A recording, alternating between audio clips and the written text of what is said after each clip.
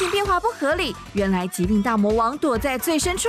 听力好像有点怪怪的，转给耳鼻喉科医师，抓出了一个小那个小昆虫的尸体。一个月后问他说：“哎，你症状好一些没有？”